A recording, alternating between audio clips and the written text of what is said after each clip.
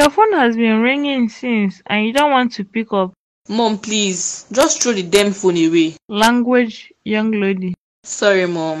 Are you okay? You look sad. I think something is wrong with me. How do you mean? Never mind. I just want to be left alone. Talk to me, Natasha. I am your mother. Why am I so unlucky when it comes to me finding a good man? My daughter, there is nothing wrong with you. There are no good men anymore. So you mean I will never find a good man? I didn't say so. If you are waiting for a perfect man, you will never find him. I don't need a good man. All I want is a partner that would love me unconditionally. Who breaks your heart this time around? This particular heartbreak is very painful. Natasha, I would advise you forget about a man for now. Try and build yourself first and trust me, men will come running after you. I have built myself already. What more do I have to build? Focus on your life, stop chasing men. If not, you will end up being used again. Is that all you have to tell me? You can't even console me. I have to tell you the truth first before consoling you. I guess you have never been heartbroken before. Else you would know how it feels like. You would never survive half of what I went through to have you. Does this have to do about dad? I need some rest now. We will talk later.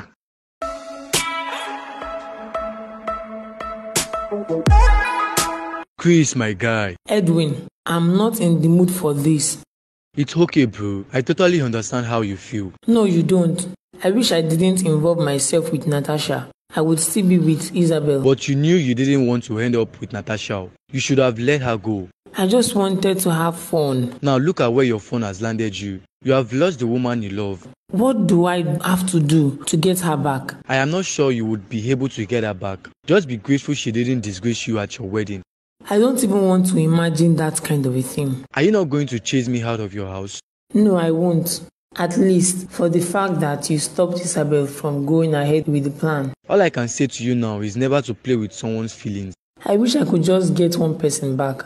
I don't mind if it is Natasha. In your dreams, you better forget about those girls. This should be a lesson to you. So now I have to start afresh to look for a girl like Isabel. You don't have a choice now.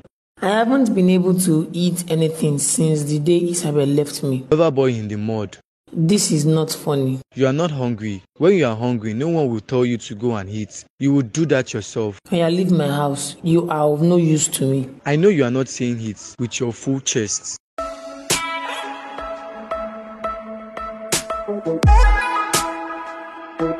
Doctor, we have been waiting for you for so long. Sorry about that. I was trying to get some things ready. Okay, that's good. So is everything set now? Should we leave the room? There will be no need for that. There's a little problem. Problem? What could that be? Mr. Cletus, I guess we would have to buy a bag of blood for your daughter. No, doctor, you can't buy a bag of blood for her when parents are available. Have you forgotten you don't have matching blood with your daughter? I thought you just took out some of my own blood. Which blood do we have to buy again? I am confused as to why none of you share the same blood with your daughter. Why? Do I have some kind of sickness or what? No, not at all. We are listening. Well, we took out the blood from you, Mr. Cletus, and we started working on it. Then we found out that your blood does not match with your daughter's. What? How can that be? Doctor, what does that mean? I am the father of this child, so my blood should match with hers. Well, Mr. Cletus, sadly, your blood does not match with hers, so you have to buy a bag of blood for her. I beg to take my leave. What just happened? That doctor must be mistaken. How come our blood does not match with hers? Are you asking me that question? Who else will I ask? Buy the blood for her and then meet me at home. Oh God in heaven, I know for a fact that there is nothing impossible for you to do.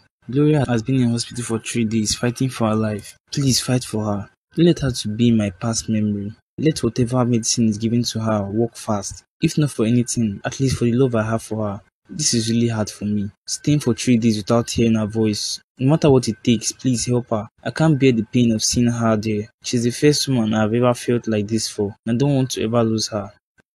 It would be better if I donate my blood for her. The process is taking too long. I can't wait any longer. Even if it means donating one of my kidney for her, I will do it.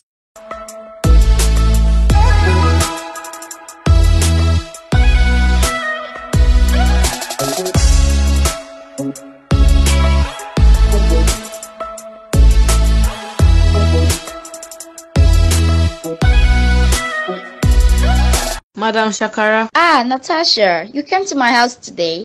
are you surprised? Before Uncle, when was the last time you came here? Does it matter? I understand, sure. All what you ever thought of was Mr. Loverboy. You're so funny. Mr. Loverboy that plays the both of us. He played only you because I knew what I was doing. So I was the stupid one, Abby. Obviously now, you just purposely decide not to use your head when you love. Let me draw. Sherry is a crime to love and trust at the same time. It is not a crime, my darling. You can love and trust, but don't trust too much. Yes, mommy. I missed you so much.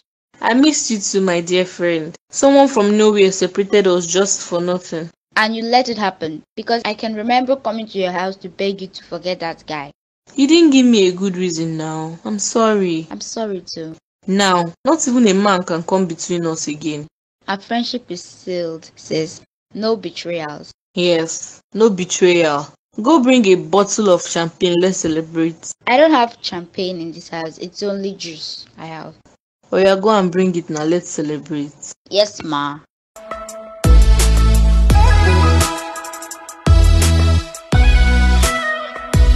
Did you buy the blood? Yes, honey. Everything has been set. Good. How is she feeling now? Is she awake? Yes, she is awake. Would you like to go see her? I have not still recovered from the fact that none of us has the same blood with our daughter. Come on. I told you already that their machine is faulty.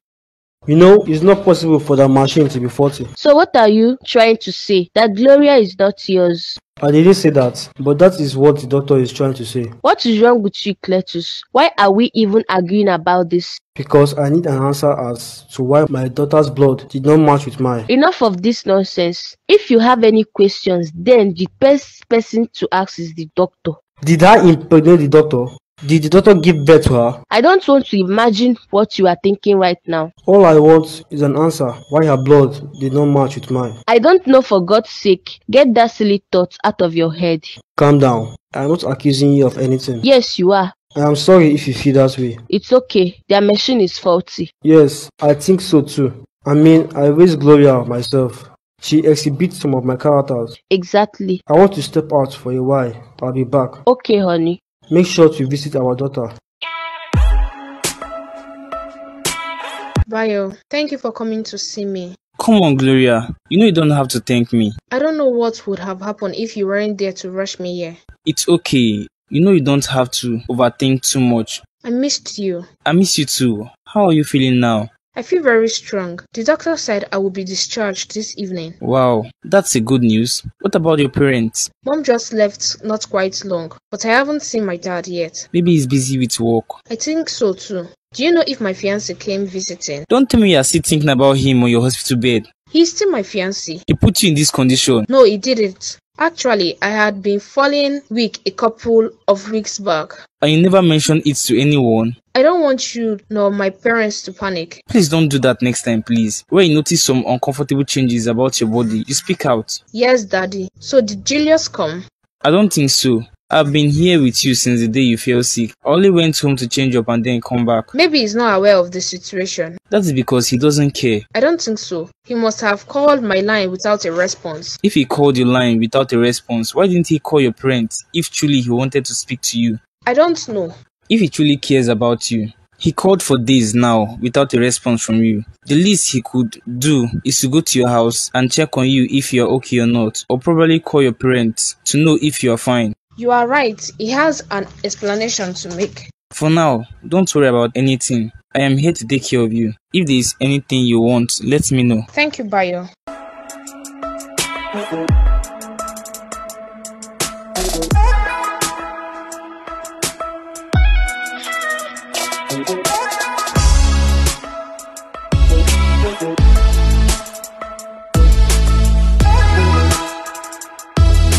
Guy Alpha, I even thought of coming to visit you and your family this weekend. you no go work today. I should be asking you that. Are you not going to work today? I have given myself a day off. My daughter will be discharged this evening, so I want to spend some time with her.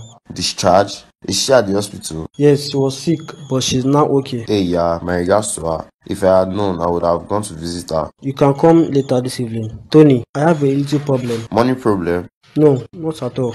The doctor required I donate some blood for my daughter. I did, but unfortunately, it didn't match with hers. It is very possible for you not to share the same blood with her. Then, what about my wife? If it didn't match with mine, it should match with hers. That is a serious case. How can she not have the same blood with your wife too? Exactly my point. The only way now is for you to go for a DNA test. DNA test, man, doesn't go into that. That is the only way you will know the truth. I don't want to make my wife feel like I don't trust her. Then why are you complaining? If you are sure that Gloria is your daughter, then forget about what the doctor said and move on. Hmm. Or if you don't want your wife to know, you can do it secretly. How? Go and discuss it with the doctor first, and he will tell you what to do. Okay, that is exactly what I will do.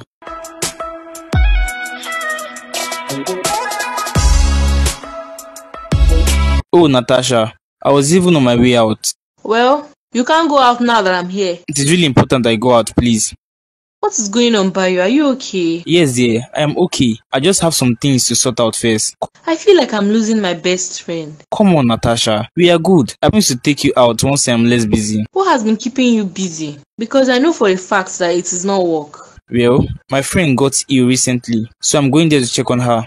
That girl again? What is that her name, Seth? Her name is Gloria. So now she's the one taking all your time, Abby. That's because she just recovered from her illness. I know this is the only time I have to prove how much I love her. See, I don't like this at all. Her own is just too much now. Don't you want a sister-in-law? Calm down. Once she accepts my proposal, I will make sure you are her chief bridesmaid.